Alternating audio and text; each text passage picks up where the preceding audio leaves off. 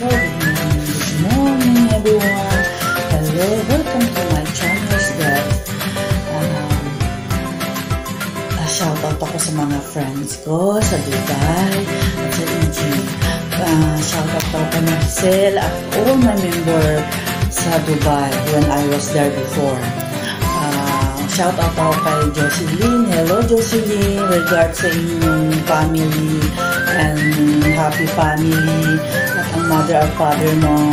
Regards din ako sa iyong asawa at ang daya mo talaga, hindi mo kinumbita sa iyong wedding. But anyway, Jocelyn, um, pray ko na maging masaya ka at happy sa iyong asawa. Alam kong masaya ka na ngayon. Ayan. Hindi natin lubos maisip mo isang ganun lang. Parang nag-asawa ka na. O, di ba? O, di masaya ka na ngayon. Ayan, meron ka na katulong. I mean, meron ka na hindi lang katulong at meron ka ng bumaagapay sa iyo. Diba? Yun naman ang dream mo, diba? Lahat naman ng babae, dream nila na may partner sila, o diba? Ayan, happy ako sa iyo. I'm happy for you, Jocelyn. Good luck sa family mo. At siyempre, sa wedding mo, uh, regards na rin sa iyo. Okay? Ah, guys, what's up? Thank you, thank you sa mga nag-subscribe sa channel ko at mga followers ko. Thank you very much, guys. Thank you for supporting me and um, binabati ko rin at shout out ako sa mga relatives ko sa Bulacan at sa Manila, sa mga ng family, kila Marisa, Solita, and Manito. Hello! Uh, support my channels, guys, and my sister in Bulacan. Flores family, Fernando family, and Maui family, Taktak family. Hello sa inyong lahat. Sa mga nakakilala sa akin, hello guys. Welcome to my channel. Ayan na nga guys. Ngayon, alam niyo, uh, siyempre, pag gising natin sa umaga, always give thanks to the Lord dahil lagi tayo niyang ginagabayan dahil pagmulat ng ating mga mata is, is a blessing na po yun, di ba? So, lahat tayo, meron tayong kanya-kanyang faith. So, huwag tayo mawawalan ng pag-asa sa mga dinadanas natin ngayon, guys. Alam niyo kung bakit? Pagkabuhay pa tayo, always may hope. Nandiyan lagi ang pag-asa sa buhay, guys. Kaya, uh, tutok lang sa ating pananampalataya kay God dahil alam niya ang mga sitwasyon na dinadanas ng bawat isa sa atin.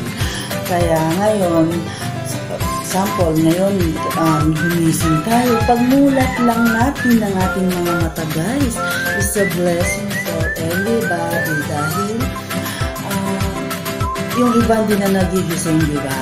Okay? Mashallah, ayan. Siyempre, lahat tayo, may kanya-kanyang paniniwala at faith ang bawat isa sa atin. Kaya, uh, go lang kung ano ating paniniwalaan. We have freedom kung saan tayo. Okay? Ngayon guys, ngayong umaga na to, um, pagising ko, nag-pray ko at naligo. Alam na, marami akong gawain sa aking kitchen. Nag-asikaso rin ako sa aking father. So, ngayong umaga, maaga talaga ako nagising kasi, uh, siyempre, gusto kong mag, um, mag-take nga sa inyo ng video ko. So, maaga ako para maaga makakuha. So, 9 o'clock in the morning, tapos na aking mga trabaho dito. So, ngayon nag, nag-taping na lang ako, nag-vlog na lang ako ngayong oras. Ito, 9 o'clock in the morning, guys. Ngayon, alam niyo ba, uh, ang aking breakfast this morning, July 19 in the morning, ay rice at saka fish and coffee. So, alam niyo guys, after this to eat like this food, heavy food in the morning, you need to drink something. Pero, ang um, hindi ko alam, pagkatapos ko kumain guys, may hinahanap ako, parang something sweet or something to drink. Ayan. So, ngayon, guys, oh, may tapos na akong kumain ng breakfast coffee, rice, and coffee. May nahanap talaga akong sweet. Kasi siguro, um, parang nadinidigay ko yung fish. Alam mo naman ang fish, heavy yan eh. Fish and with rice, heavy po yan. Tapos, uh, eto na. Uh, kung updated kayo sa aking video guys, diba, did you remember my pinya? Ayan na nga guys, ayan. Pinya, diba last two days back, diba kumuha ako ng pinya doon sa bundok, remember? So, ngayon, ito ang gagawin ko ngayon guys. Juice, diba? Kasi gusto kong um, uminom o kumain ng matamis. So, I, I prepare myself to eat fruit and fresh fruit or juice fruit na fresh. Ayan na nga guys. Eto, hinihiwa ko na siya guys. Hinihiwa ko na siya ng maliliit. Parang gagawin ko siya juice. Ayan. Ayan na nga guys. Samahan niyo ako. Gumawa ng juice ko para inumin siya. Okay? Ayan. Ito ang from Milan. Ayan guys, fresh from apple juice. Ayan na nga, ayan na nga, ayan na nga po. ayan guys. Oo, kailangan ko to. Kailangan natin ng all the time fresh. So, natin kakalimutan yun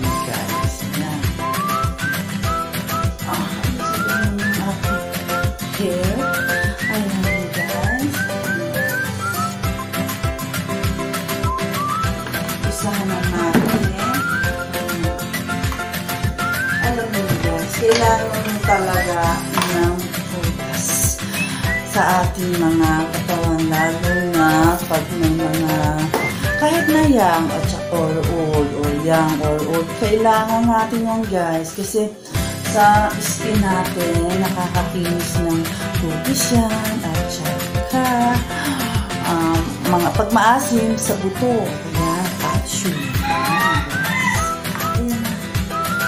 yan guys. Yan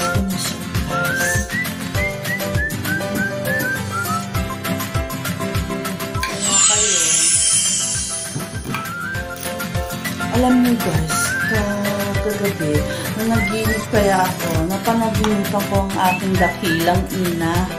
Naku, ang, yan, hindi man ako minumulto nun. Ano ba naman? hindi ako minumulto nun. Uh, just maybe remember her lang, di ba? Um, para bang nag-flash lang siya sa akin. Basta sa nasa dream ko siya, ganun lang.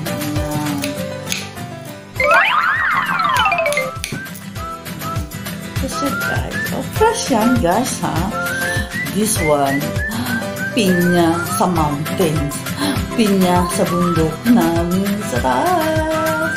Kita nyo naman, di ba? Two days back, andun ako. Nako, hindi ka ako sa paglalakad. Ang hirap talagang umakyat. Sobra talaga, guys.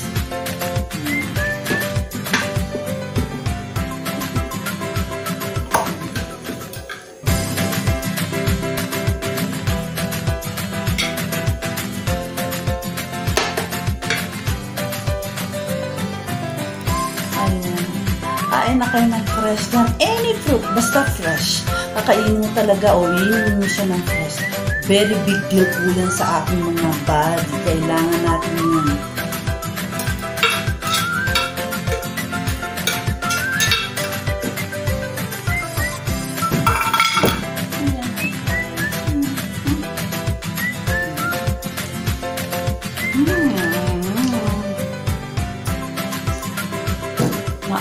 Maasim-asim na manamis-mis.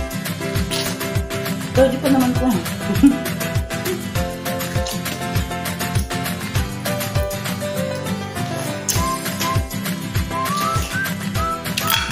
Mm, okay pa.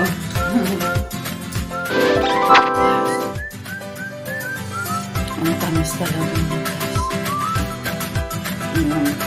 Pero, even na mga matamis siya, So, ilan pa rin natin konting lagyan ng sugar at saka tubig. Kasi ayoko maglagay ng kahit ano. Basta tubig lang at saka sugar. Kasi para rumami siya. Diba?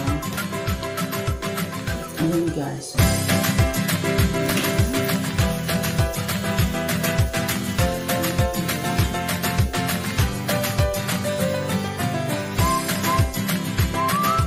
Alam niyo guys, ang gamit ng sugar brown sugar. I remember my mother kasi alam mo, paborito niya ang brown sugar kaysa sa white sugar. Ewan ko kung bakit, pero sabi niya sa akin, I remember, anak, ang gagawin, ang, uh, ang gagamitin mong sugar, brown sugar, ha? You can put also in the food. So, pwede natin ihalo ang brown sugar sa ating lulutong ulam. Ganon ang sabi niya. Remember ko yun, kaya hayang, wala na siya. Talagang pumapasok sa kaloob-looban ko yung mga bili niya. Yan. Nire-refresh ko lang. Kasi andito ako kasi dati nasa labas ako, siya ang nandito. Ngayon, wala na siya. Ako ang nandito. Kaya ganun guys. I always remember her sa mga way sa pagluluto, mga dapat unahin sa pagluluto, anong diskarte, gano'n. Napakasarap kasi ng nagluluto, guys. May maraming mga comment sa akin tungkol sa mother ko, hindi sa akin, sa mother ko. Alam nyo ba yun? Sa mother, gano'n, gano'n, guys. Alam mo, ang ina, na, ang dakilang ina, lagi natin yan naaalala kahit sa pagtulog natin any place, guys. Kaya, habang buhay ang mother at father nyo, mahalin mo yan. Yan ang dahilan kaya bakit kayo nandito sa mundo ito. Right? Yan. Uh, back to the my pinya. Masyado na akong talkative, guys. Ngayon, back to the my juice. Ayan na nga, guys. Ayan na, may sugar. And I will put some little bit water for a while.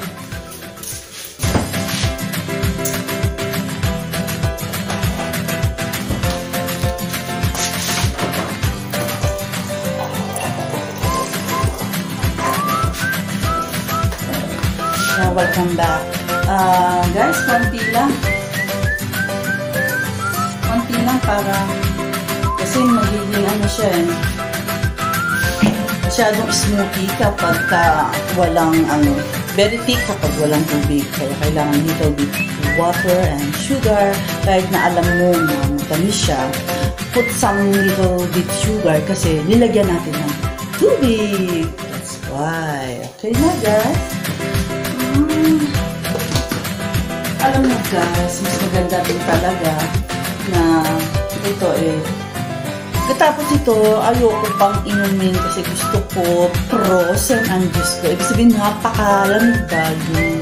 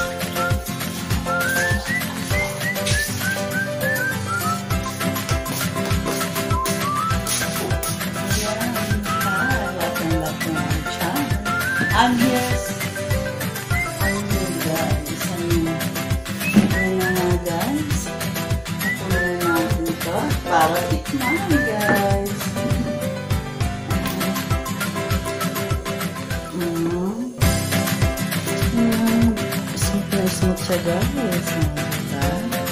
Fresh na fresh. Walang mga ingredient yan ha. Natural talaga. Nag-add lang tayo ng sugar at saka little bit water and sugar. Tapos, na na.